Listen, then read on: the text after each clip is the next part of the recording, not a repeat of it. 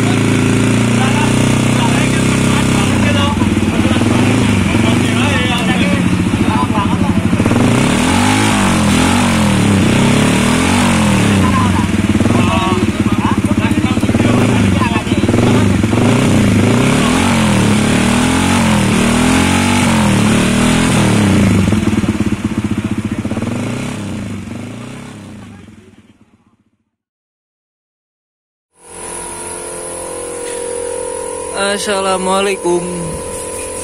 Selamat malam. Ini ada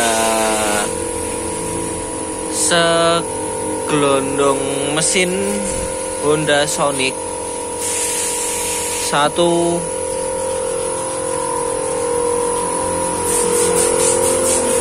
Dua.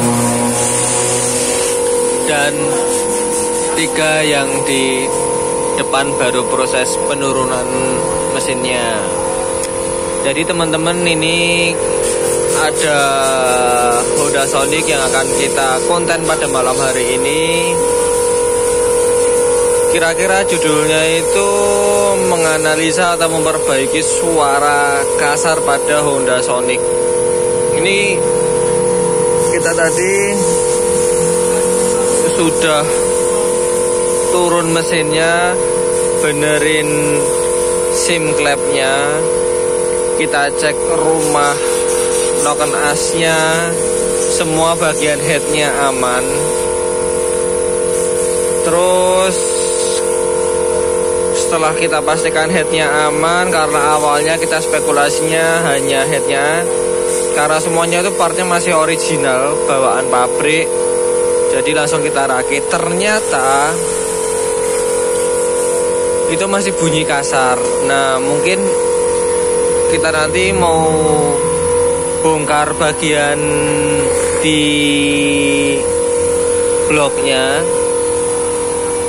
Jadi buat teman-teman yang memiliki Honda Sonic jika mungkin menemukan apa namanya kasus yang sama suaranya kasar padahal mesin masih standar belum diapa-apain Pertama pastikan dulu rantai ketengnya terus bau-bau. Terus sambil kita sambil jalan ya.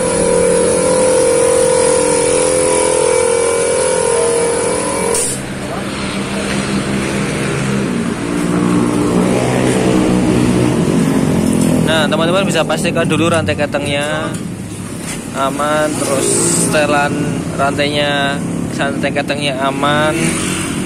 Ini tensionernya sudah uh, setelannya sudah kita ganti ke manual dari ownernya udah diganti karena prediksi awalnya dia itu adalah kampratnya ternyata aman.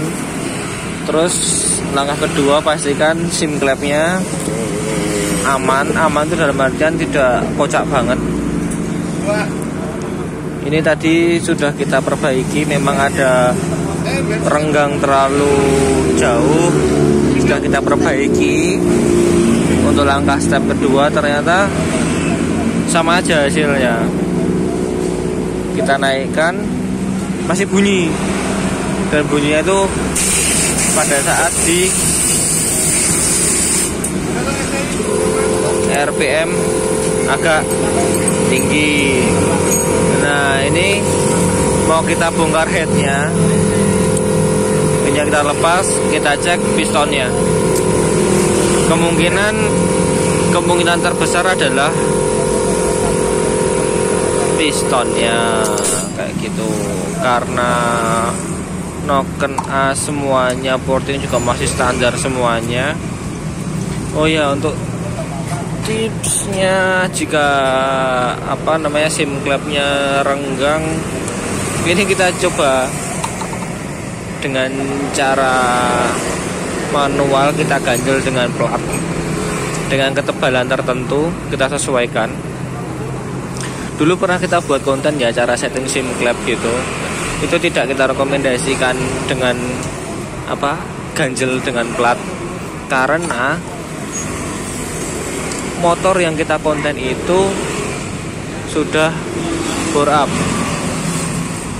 Dari berklapnya udah diganti klepnya udah diganti terus noken as juga udah diganti piston juga udah diganti.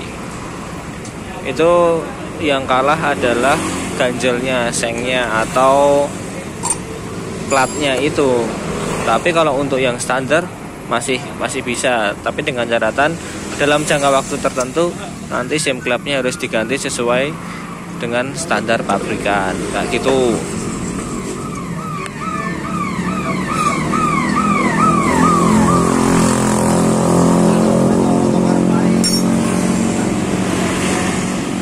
Nah ini untuk tutupnya ini Tutupnya ini Dia masih normal ya Normal semua.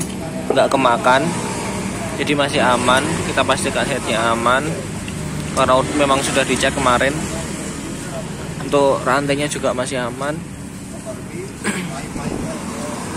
Kemungkinan terbesar di pistonnya.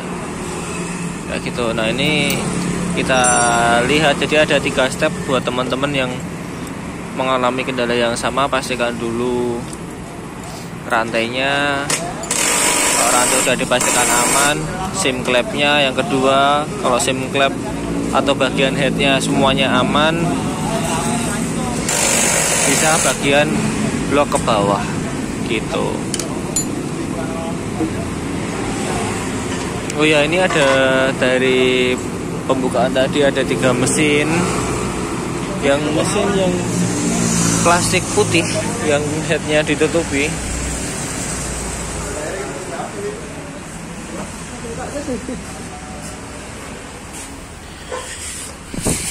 nah yang ini yang ditutupi ini jadi tutupnya noken as ini tutup tutup noken as ini dia kemakan. Nah ini baru baru kita benerin baru proses kita benerin ya. Tutupnya sini. Kasusnya ya cuma gitu-gitu aja sebenarnya untuk untuk Sonic. Udah baru kita benerin gitu terus yang bagian belakang yang yang di wrapping ini rencana insya Allah akan kita buat untuk bahan road race. Jadi kita kemarin sudah buat Vario 130 tune up Yamaha X-Red 130 standar. Nah ini jari nih rencananya digawe bahan road racean karena headnya udah ada bloknya sudah ada part-partnya udah ada untuk mesinnya. Tinggal nanti yang Sonic yang putih itu mesin yang pur yang XTR itu mau diturunkan mesinnya diganti dengan ini. Seperti itu rencananya rencana ke depan kalau nggak meletre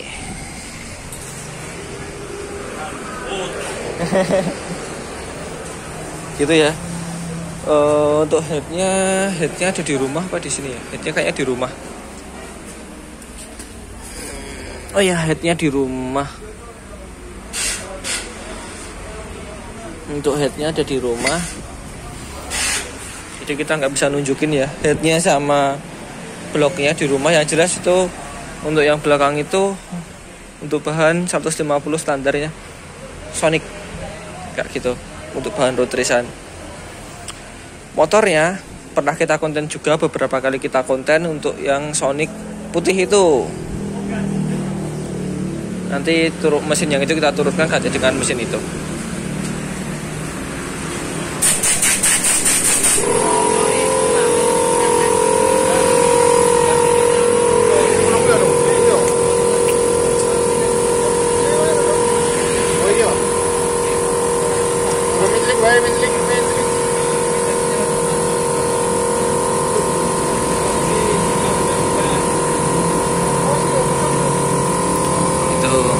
mungkin pernah mungkin buat teman-teman yang penasaran proses pembuatan bahan road race-nya dari Honda Sonic stay tune di channel BBC Motovlog. Kita akan buatkan terus videonya nanti pada saat proses semua prosesnya. Sama kayak ya sama kayak Yamaha X-Red dan Vario. Kita buatin terus progresnya step by stepnya dari awal sampai motor benar-benar selesai atau bahkan sampai latihan atau race kayak gitu. Nah ini master motornya customer. Dan baru kita cek lagi satu persatu bagian apa yang menjadi kendalanya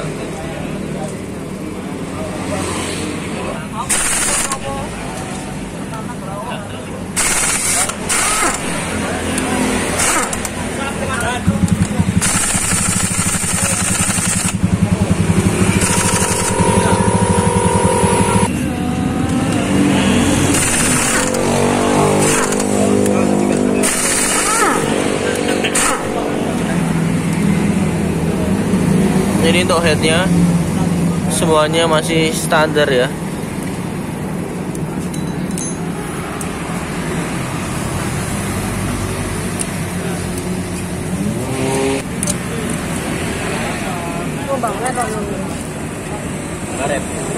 Baru tak buka.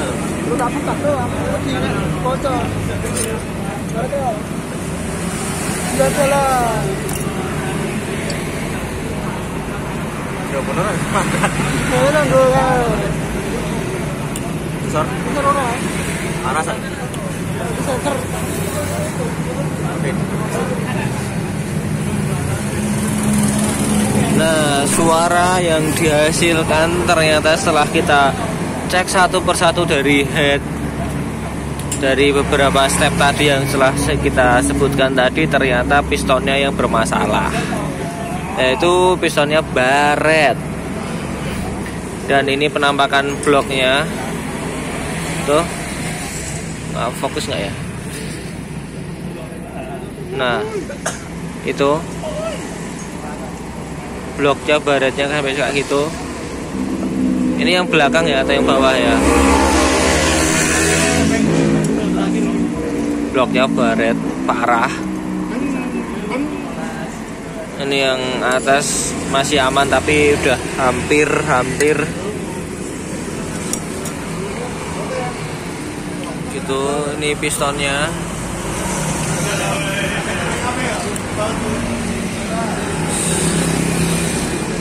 Ini olinya juga rutin diganti kemungkinan kayaknya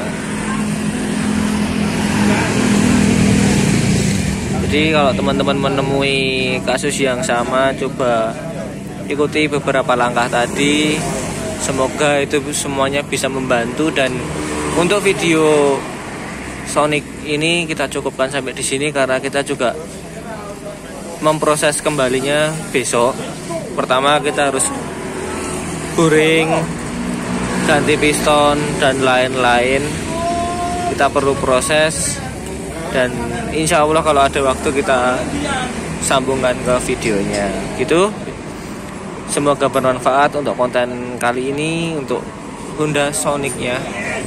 Semoga menjadi wawasan untuk kita bersama jadi pengalaman kita bersama. Semoga bermanfaat. Mohon maaf jika ada salah kata. Saya akhiri. Selamat